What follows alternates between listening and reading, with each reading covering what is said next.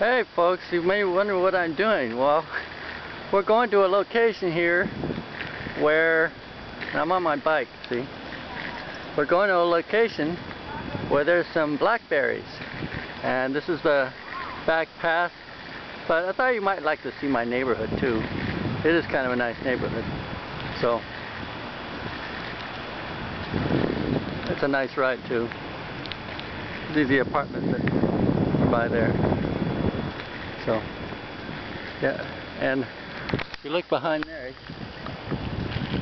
I think you see my daughter there. Hi. Hey, hey folks. See the folks here are nice. Speaking of, and looks like we have our first wild animal. By the uh, way, this pond gets alligators. We get alligators here, so, alright. So, say hi. So I figure we might as well just venture out. Alright, so this is the first part because I don't have much video.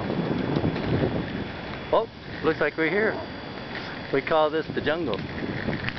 Okay, I'm slowing down and uh, there they are. Right there, those are unripe blackberries.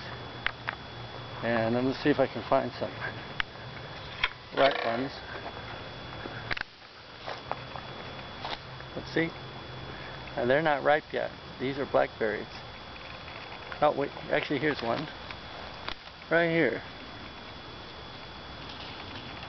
And they're very prickly.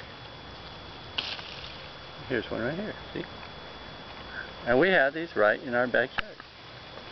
And there's a whole bunch of them. Every year we come and we just pick them and it's just been a lot of fun. So, anyways, who knows what's in your backyard?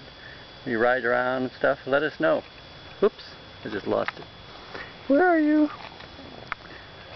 And so, I'm gonna pop it in my mouth. Mmm, that was good. All right, bye everybody.